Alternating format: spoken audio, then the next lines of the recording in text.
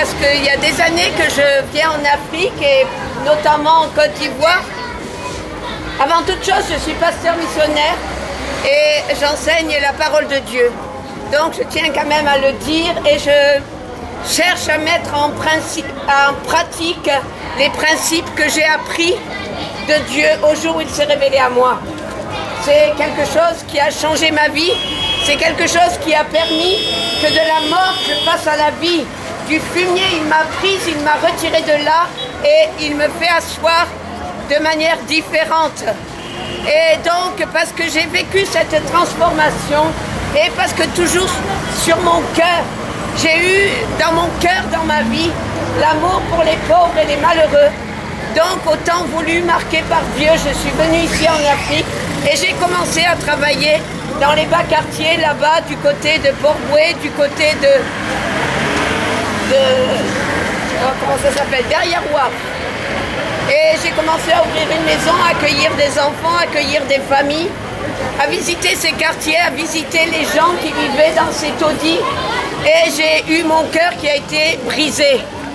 Donc j'ai cherché à expliquer quelques principes qui sont les mêmes pour tous. Vous savez, Dieu, il a fait euh, la pluie pour les bons comme pour les méchants. Il a fait le soleil pour les justes comme pour les injustes.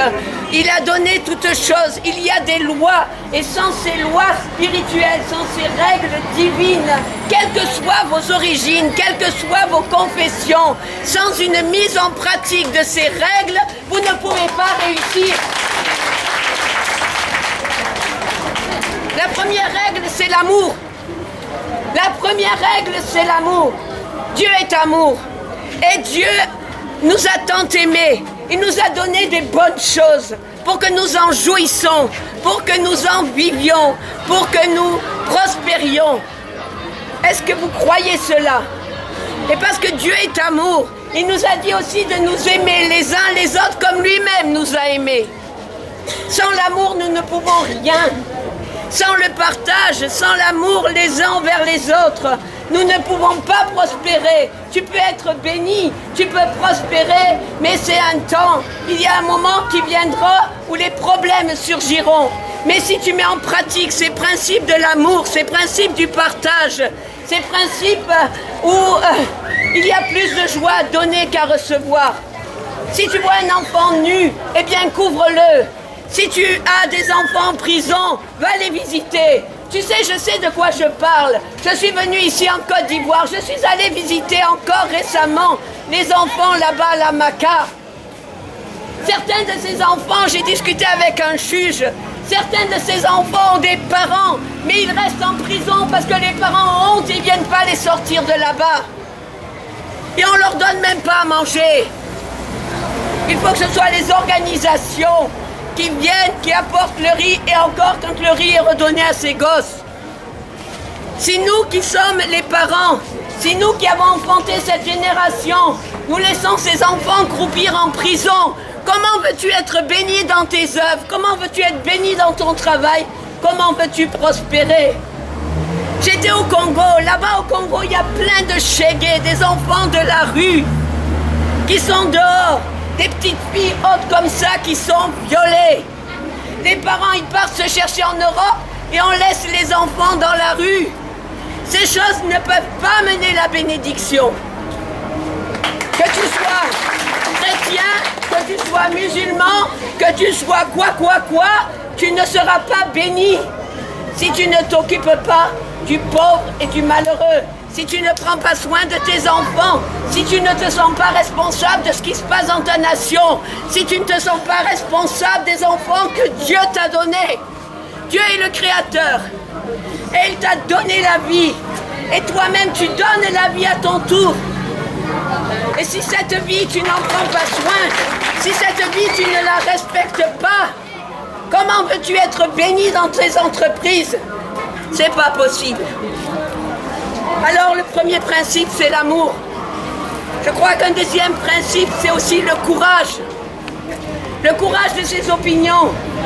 Le courage d'exprimer l'amour. Le courage de le vivre dans une société où tout va finissant.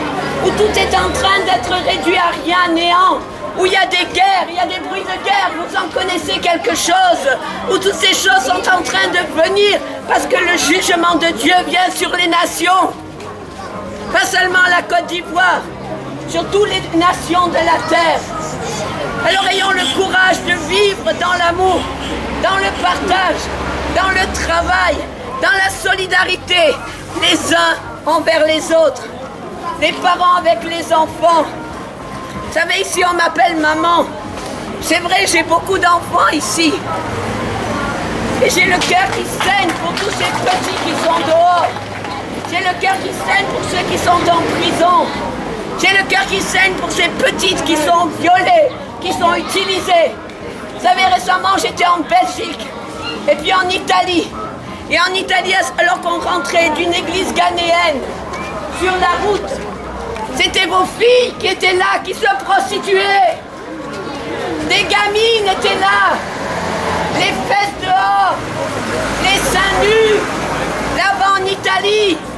Et les hommes s'arrêtent et elles se vendent. Bien-aimés, soyons responsables. Réalisons que c'est notre, c'est notre responsabilité de changer cette situation des choses.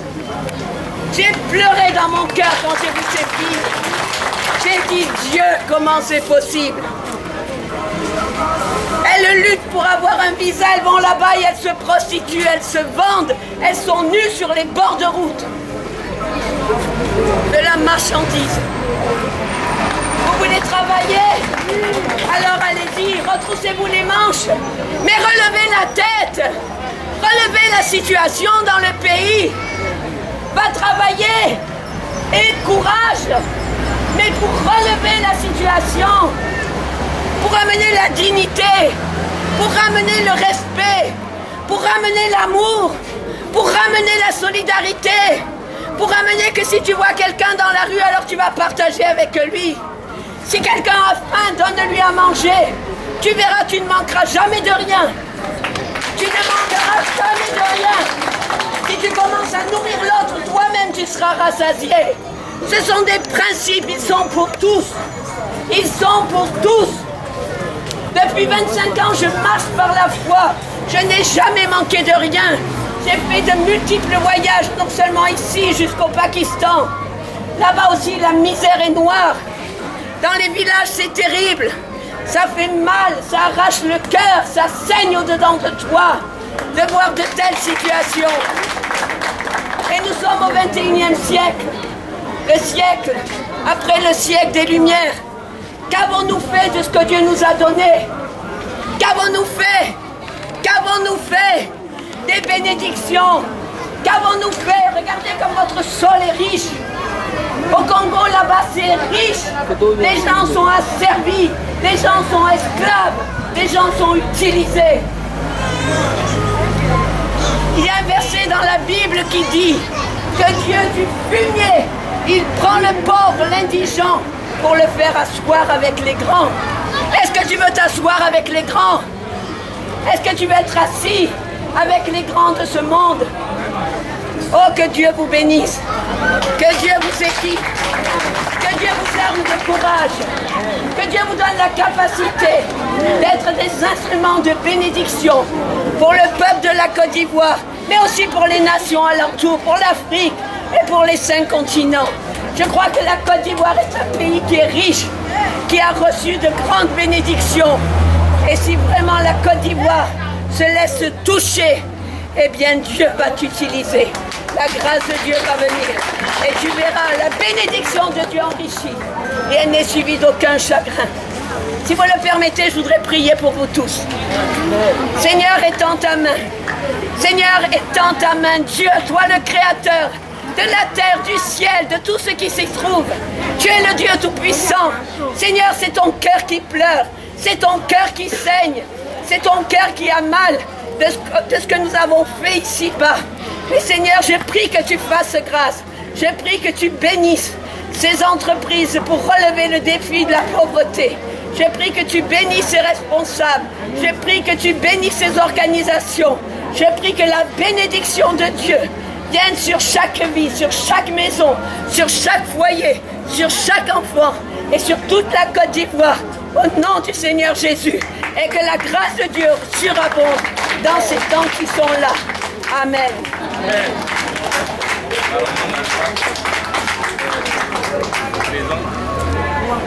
Merci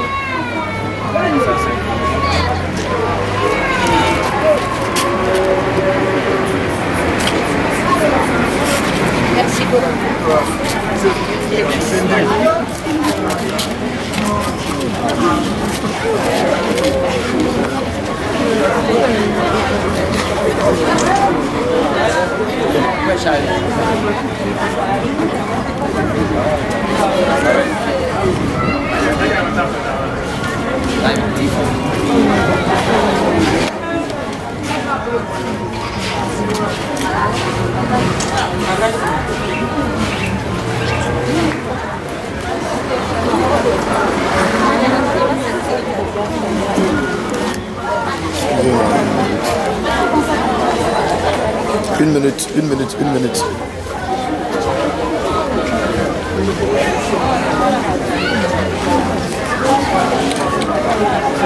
Ok. Arrête le là. Pour la photo.